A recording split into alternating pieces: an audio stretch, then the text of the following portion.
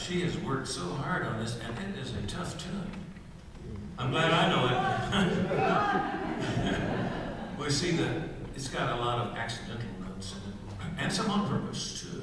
And, uh, but she has to flip these levers. Have you ever explained what happens?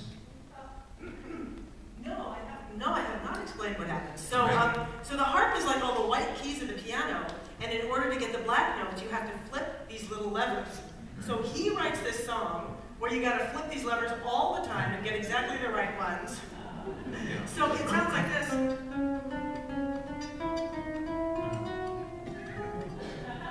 So Flight of the Bumblebee